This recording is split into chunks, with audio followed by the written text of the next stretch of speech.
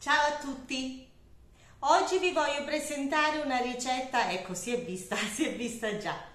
Vi voglio presentare una ricetta che fa parte delle tradizioni del nostro territorio e della nostra cultura.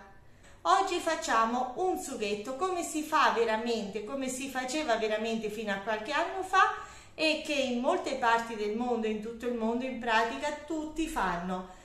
Ci mettiamo le zampette di pollo, questa zampetta con in mano in particolare, queste zampette, adesso prendo anche l'altra, queste zampette sono di un pollo naturalmente che io ho preso, ho la fortuna di avere vicino a me della campagna dove veramente vengono allevati ancora all'aperto, stava lì e correva questo pollo che tra l'altro pesava 3,8 kg.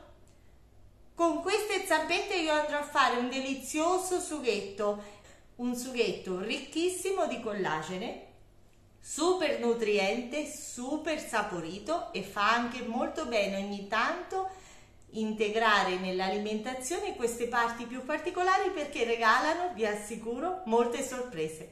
Prepariamo insieme un buon sugo come si faceva tanti anni fa.